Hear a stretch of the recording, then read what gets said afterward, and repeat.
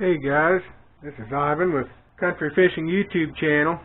Today I'm going to change it up a little bit. We're not going to just do it about fishing, we're going to be about cooking some fish. we all like to catch our fish, so why not, uh, why not cook it too? I'm going to share how I prep and, and do my fish today. Nothing real special. A lot of people probably already do it this way, but I'm going to go ahead and share it anyways. I start off with two boxes of Jiffy corn muffin mix.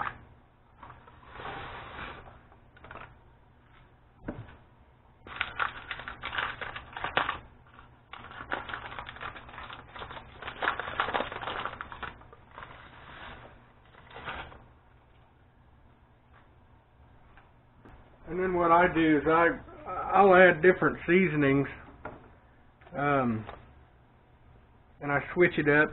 Uh, you know, I hardly ever do the same recipe every time. I just like to experiment. Today I'm going to add a thing of this Larry the Cable Guy fish batter. I'm going to add it in as a dry mix. It's got prep instructions here. You know, it's for a wet batter actually, but uh, I'm not gonna I'm not gonna use it as a wet batter. I'm going to use it as a dry batter.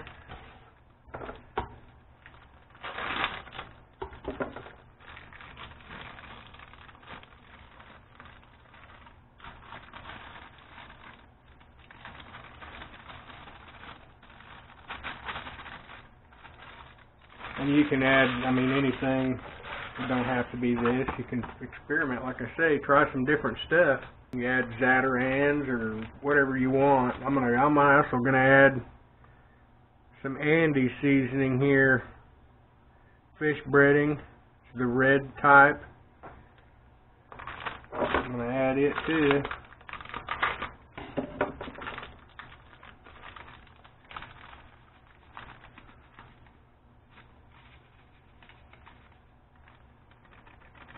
I seem to like this. I usually pick this up quite often. I like this.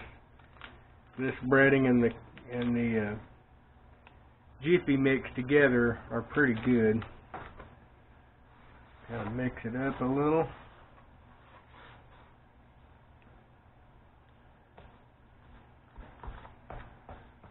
I have pre-washed my hands and everything. You want to make sure you're clean. Don't get everything all dirty.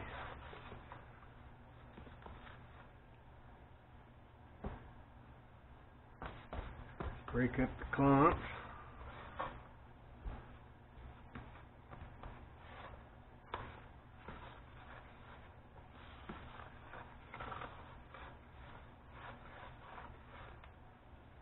Okay. And I go ahead and add other ingredients that aren't measured. Um, just like I say, and I play around with this every time I put something a little different in. Here's Larry the Cable Guy's Wild Game Rub. We'll kind of put some of that in there.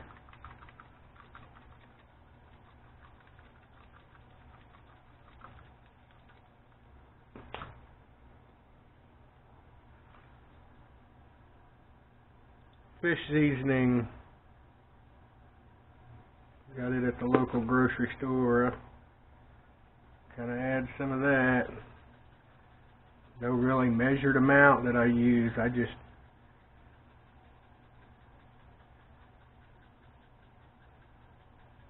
kind of guesstimate. I've never had anybody complain about the my fish, and I've never had leftovers. So, little lemon pepper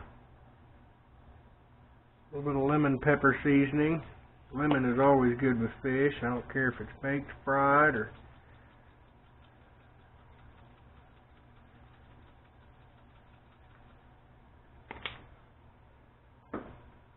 and obviously you know garlic. Garlic goes good with fish.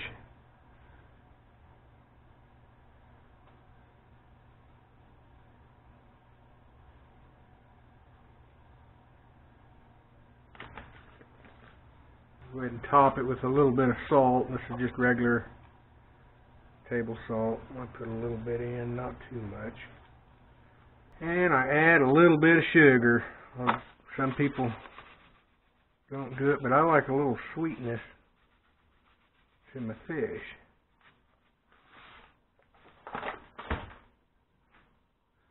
Mix that all up.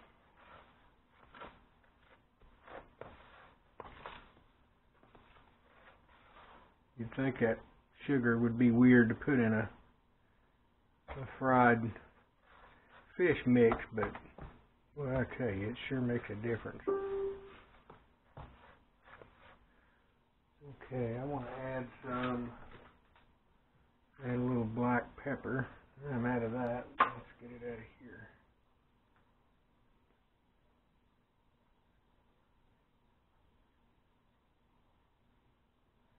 It's just black pepper.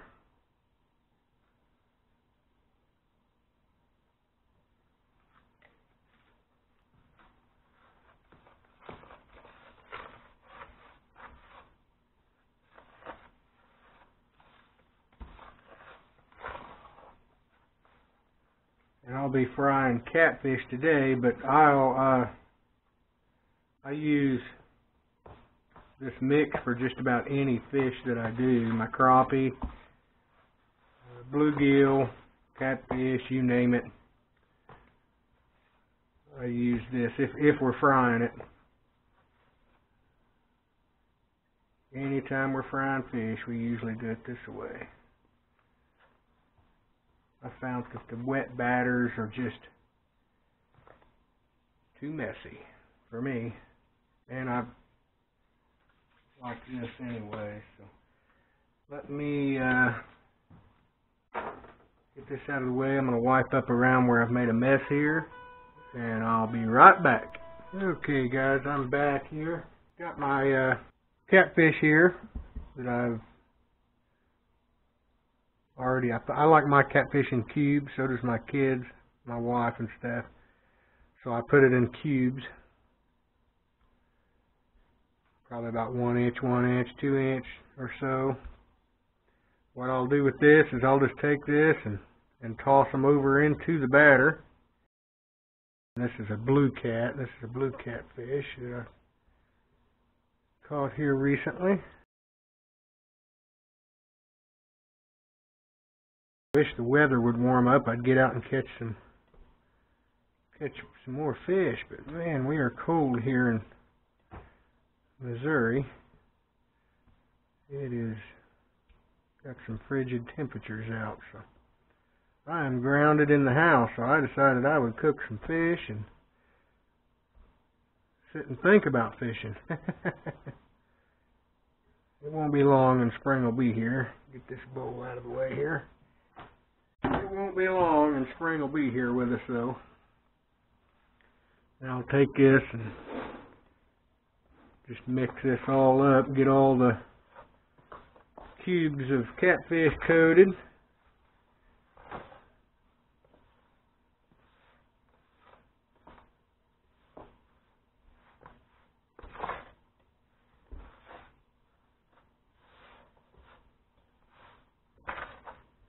And I also, you know, I I cook if my wife buys any store bought fish, um this is the same recipe I use on it too. It's good for for any type of fish. Of course store bought's not gonna taste near as good as fresh caught, but okay. Let them sit. Let me wash my hand here.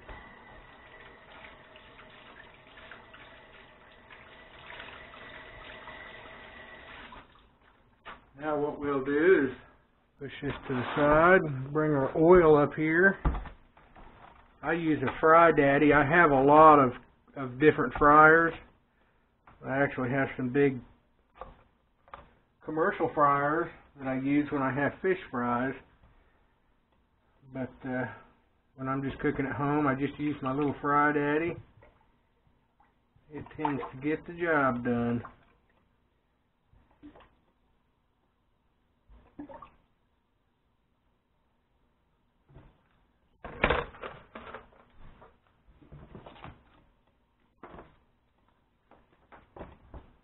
Plug it in here and I set it up to about 350.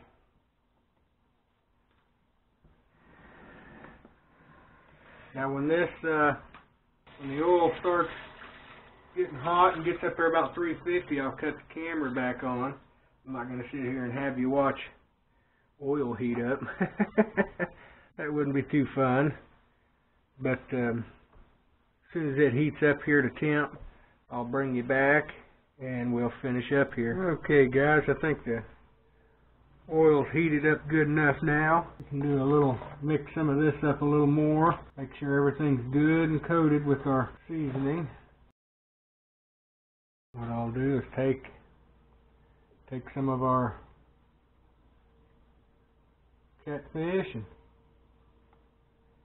drop a piece in, see if it's if it's ready, and it looks like it's frying pretty good, so we'll let that piece there go and see how that turns out. Might need to be just a little longer on the heat. What you do with your fish when you're doing it like this, when you're deep frying, when that fish floats to the top, it's ready. It's it's done. It's fried through and through.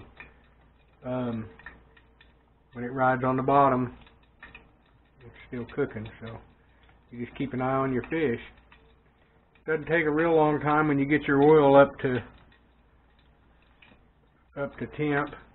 Um, it doesn't take long at all, especially when you cube it up like this. Now, if you're going to fry big fillets, you know, big, thick, the whole fillet of a fish, it's going to take a little longer. Um, that's one reason I kind of changed to cubing it like this, kind of bite-sized popper cubes. Just makes it a lot easier. They cook faster. They cook more thoroughly and a lot better way of doing it. Just a, a little more prepping time, but alright, this piece is done. It come to the top and started dancing around. That's the done product, and what I like to do, I like to set it over here in a strainer so the uh, excess oil will run off into the into the bowl. Okay, let's go ahead and let's go ahead and get several of them going here. Kind of get this get this show on the road.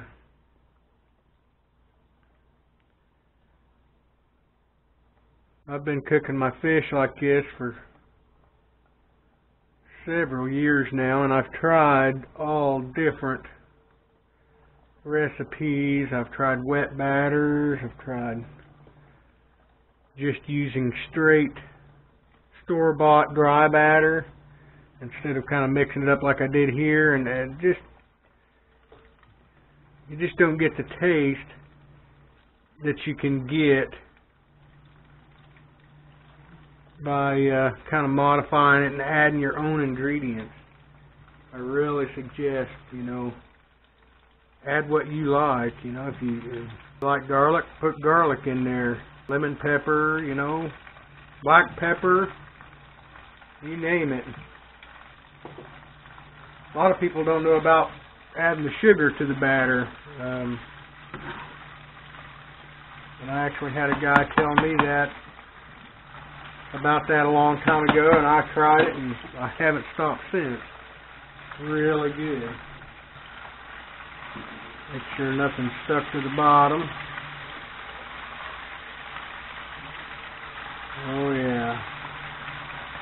It's really rock and rolling now. I tell you, we've got some. They're done.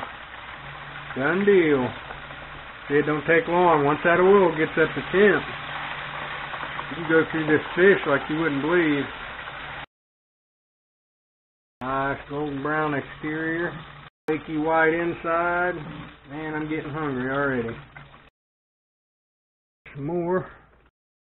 Like I say, you get that oil going, and it doesn't take long to get all your catfish fried up and move on to the next task, which I think I'm gonna I probably won't record it, but I think I'm gonna fry some French fries.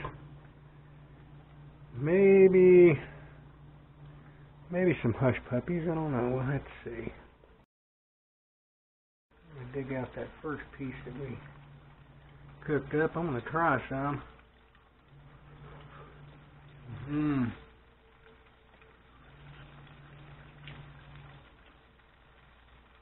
That's what it's all about. That is some good stuff. Mmm.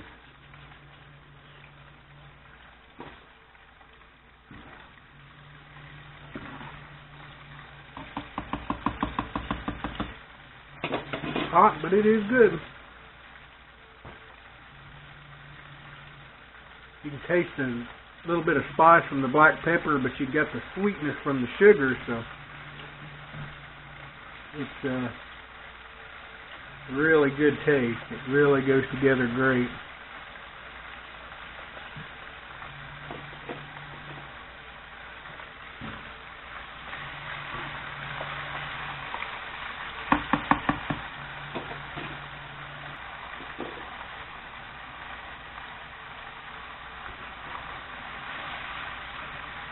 Yep, they're already starting to starting to brown.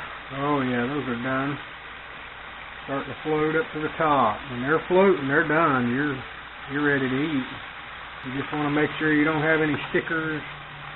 I call them stickers. They get stuck to the bottom of the deal. They will, when they get stuck down there, the temperature's so high, they will burn really quick.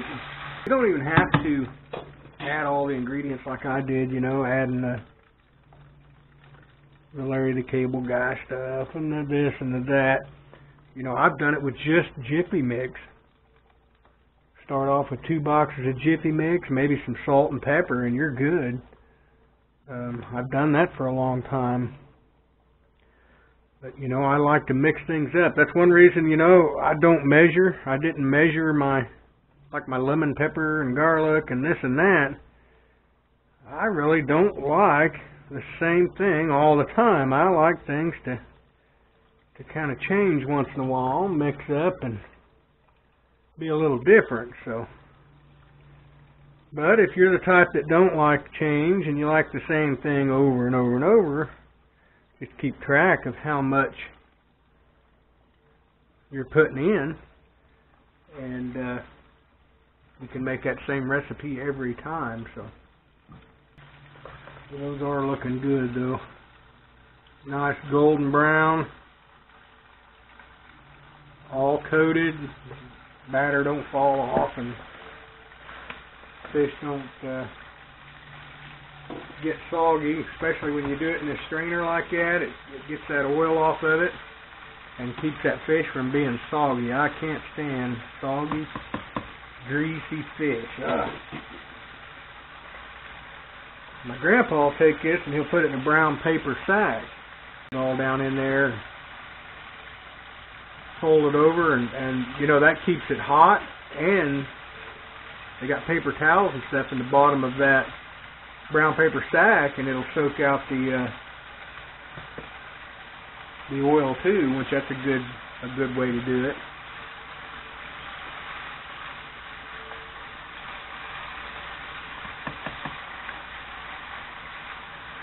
Lots of different tricks, tips and tricks. That's just like fishing. A lot of, lot of tips and tricks on fishing, how to catch the big ones and where to catch them and why to catch them and and everything. It's the same way with cooking them. There's a lot of little tricks you can learn. There was a sticker right there. You see that? How that sticker, he started burning. He's done. Like I've got a couple of stickers in there.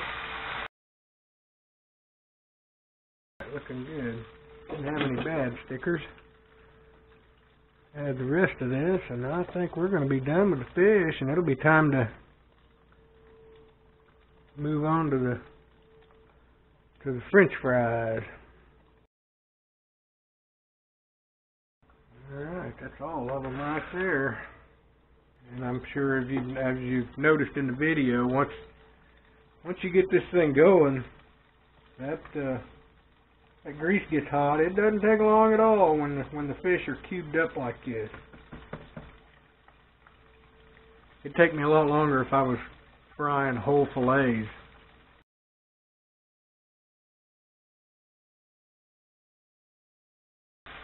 And hopefully everybody will experiment with their different seasonings. Everybody likes different seasonings.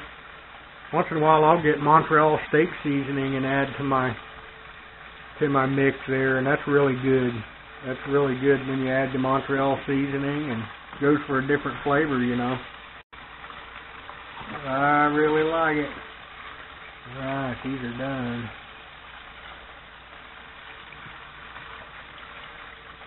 Like I say, when they float to the top, you are ready to eat. Alright, guys.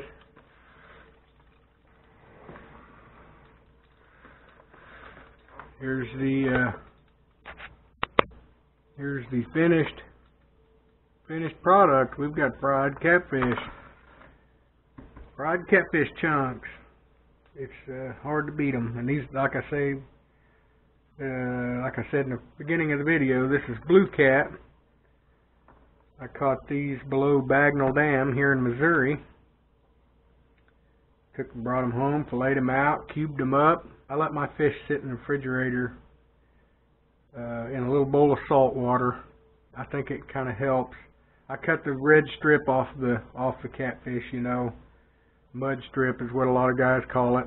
I cut that out and I let my fish sit in a bowl of salt water and uh, fry them up. So this helps some folks. Hope you try it out. Experiment with your seasonings. Um, just remember, let that fish get the temperature. Let it float. When it comes up bobbing around, you know it's done. So, all right, smash that like button down there and share this video over onto your uh, Facebook or Twitter. Guys, keep them uh, lines tight and uh, subscribe to the channel. Y'all take care.